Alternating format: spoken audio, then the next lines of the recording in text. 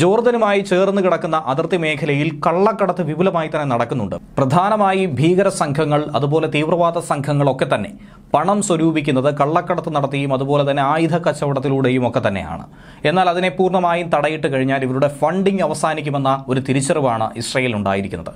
ഏറെ വർഷങ്ങളായി ഇങ്ങനെ ഒരു അതിർത്തി നിശ്ചയിച്ചുകൊണ്ട് അതിർത്തിയിൽ ശക്തമായ വേലിക്കെട്ട് നിർമ്മിച്ചുകൊണ്ട് ഇതിനെ തടയാനുള്ള നീക്കങ്ങൾ ഏറെക്കാലമായി ഇസ്രയേൽ ശ്രമിച്ചുകൊണ്ടിരിക്കുന്നു. അതിപ്പോൾ വിജയിച്ചിരിക്കുന്നുവെന്നാണ് പ്രതിരോധ മന്ത്രി ഇസ്രയേൽ കാറ്റ്സ് ചൊവ്വാഴ്ച ദിവസം തുറന്നു പറഞ്ഞിരിക്കുന്നത്. പ്രത്യേകിച്ചും ഇറാനിൽ നിന്നുള്ള കള്ളക്കടത്തിനെ തന്നെയാണ് ജോർദൻ അതിർത്തി മേഖലയിൽ വെച്ച് തന്നെ തടയിടാൻ ഇസ്രയേലിന് സാധിച്ചിരിക്കുന്നത്.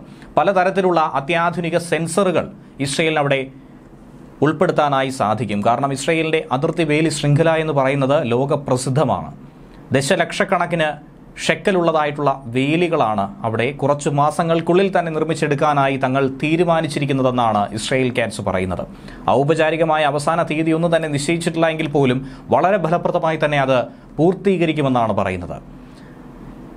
അടുത്ത കാലത്തായി ഇങ്ങനെ ഒരു ആശയം മുന്നോട്ട് വെച്ചപ്പോൾ അതിനെ സാമ്പത്തിക ബാധ്യത എന്ന രീതിയിൽ പറഞ്ഞുകൊണ്ട് ധനമന്ത്രി തടയുന്ന ഒരു സാഹചര്യം ഉണ്ടായിരുന്നു. പക്ഷേ എങ്ങനെയാണ് ആ എതിർപ്പിനെയൊക്കെ തന്നെ മറികടന്നുകൊണ്ട് ഇസ്രയേൽ ക്യാറ്റ്സ് മുന്നോട്ട് പോയതെന്നും ഇത് ഫലപ്രദമായി തന്നെ നടപ്പിലാക്കിയത് എന്നുള്ളതുമാണ് ഏവരും ഉറ്റുനോക്കിക്കൊണ്ടിരിക്കുന്നത്. നെതന്യാഹു മനസ്സിൽ കണ്ടത് കാറ്റ്സ് മാനത്ത് കണ്ടു എന്നാണ് ഇപ്പോൾ ഇതിലൂടെ തന്നെ പറയേണ്ട ഒരു സാഹചര്യം ഉണ്ടായിരിക്കുന്നത്. വളരെ കാലമായി ഇതിനുവേണ്ടി ശ്രമിച്ച ഒരു നീക്കം തന്നെയാണ് ഇസ്രയേൽ നടത്തിയിട്ടുള്ളത്. I D F chief of staff lieutenant ജനറലിന്റെ മുന്നറിയിപ്പ് കത്ത് പോലും അയക്കുക എന്ന ഒരു സാഹചര്യം പോലും ഉണ്ടായിരുന്നു.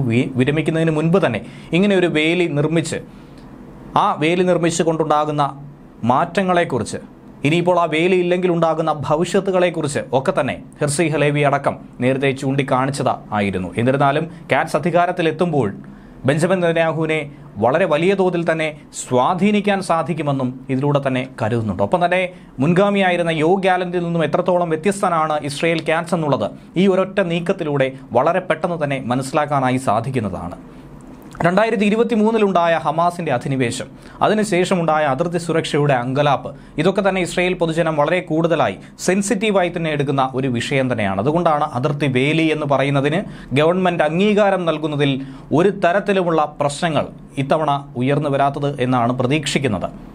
കൂടാതെ സുരക്ഷാ ചിന്താഗതിക്കാരായിട്ടുള്ള ഇസ്രയേലികളുമായി യോ ഗാലന്റിന് കാര്യമായ രാഷ്ട്രീയ സ്വാധീനം രാഷ്ട്രീയ സ്വാധീനം ഉണ്ടായിരുന്നുവെങ്കിൽ പോലും രാഷ്ട്രീയപരമായി പിടിച്ചു നിൽക്കാൻ അദ്ദേഹത്തിന് കഴിഞ്ഞില്ല എന്ന് വേണം മനസ്സിലാക്കാൻ. കൂടാതെ വളരെ കാലമായി രാഷ്ട്രീയ തന്ത്രജ്ഞനായിട്ടുള്ള ഇസ്രയേൽ ക്യാറ്റ്സിന് കൂടുതൽ ചർച്ചകൾ നടത്തി വളരെ ഫലപ്രദമായി തന്നെ ധനമന്ത്രിയുമായി സംവദിച്ചുകൊണ്ട് ഇതിന്റെ വരുംവരായികളും ഇത്രയും തുക നാം ചിലവാക്കി കഴിഞ്ഞാൽ നാളെ ഉണ്ടാകുന്ന നേട്ടങ്ങളെക്കുറിച്ചും ഒക്കെ തന്നെ കൃത്യമായി വിവരിച്ചു കൊടുത്തിട്ടുണ്ടായിരിക്കുമെന്നാണ് നിലവിൽ മനസ്സിലാക്കാൻ കഴിയുന്നത്. കാരണം ഇന്ന് ഈ വേലിക്കെട്ടുകൾ നിർമ്മിക്കാനായി ഇത്ര ബില്യൺ ഡോളർ നമുക്ക് ചിലവാകുകയാണെങ്കിൽ നാളെ ഒരു സമയത്ത് ഈ വേലിക്കെട്ട് ഇല്ലാത്തതിന്റെ പേരിൽ ഒരു യുദ്ധം പൊട്ടി പുറപ്പെട്ടാൽ അതുണ്ടാക്കുന്ന ഭവിഷ്യത്തുകൾ ഇസ്രയേലി ജനതയുടെ ജീവൻ ഇതൊക്കെ തന്നെയാണ് പ്രധാനം. കാരണം ഇസ്രയേലിനെ സംബന്ധിച്ച് പണമല്ല വലുത് അവരുടെ ജീവനാണ് ഏറ്റവും വലുത്. ഒരു ഇസ്രയേലി പൗരന്റെ ജീവനെങ്കിലും ഹനിക്കുന്ന രീതിയിലേക്ക് ഒരു കാര്യം ഉണ്ടായിക്കഴിഞ്ഞാൽ അതൊരിക്കലും താങ്ങാൻ കഴിയുന്ന ഒരു വസ്തുതയല്ല.